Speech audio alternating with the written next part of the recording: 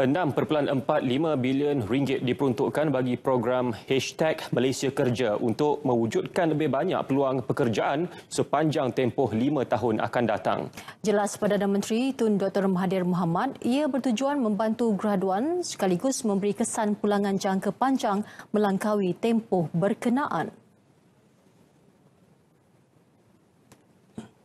Through the this hiring incentive for employers we want to connect ready, willing, and able talent to jobs with dignity as we prepare our workforce for the future. The program is targeted at, at very specific segments of the labor force.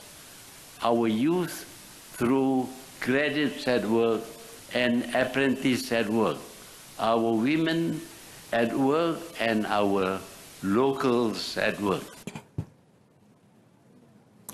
Tun Dr. Mahathir menjelaskan perkara itu dalam ucap tama Persidangan Kesejahteraan Sosial 2019 dan melancarkan Malaysia at Work di Ibu Negara.